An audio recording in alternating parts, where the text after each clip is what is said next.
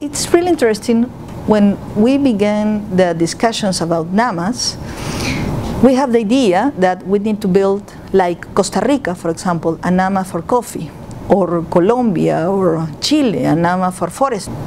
But when we are dis discussing about that, we receive important contributions, concept contributions from CIFOR, ICRAF, Rainforest Alliance, and others who make research.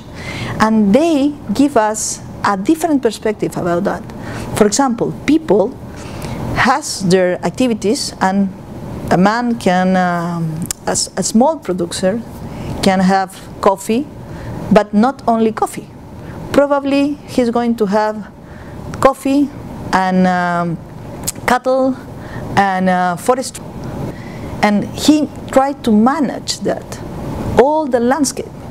And this is the vision that we don't have in the public policy. We are thinking in a sectorial way, but we need to move on a landscape vision. And this is one of the most important uh, things that we are working in SERFOR, because we are trying in the Ministry of Agriculture to work to manage the landscape. And in that situation, we need to ask about what is the key elements to manage that landscape.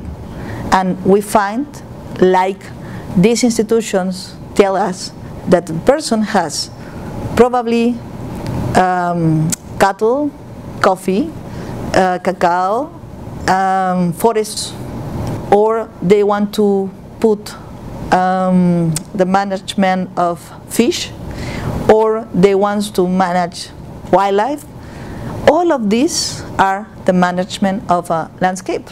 For that reason, we are trying to create the concept of a NAMAS from the landscape, not only for cacao or coffee or other activities.